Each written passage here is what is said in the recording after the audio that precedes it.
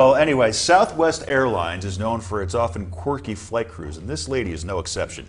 Passengers on this Southwest flight in Nashville were surprised to be greeted by a flight attendant hanging out in the overhead luggage bin. They say she stayed in there for about five minutes and didn't get down until more than half of the airplane was boarded.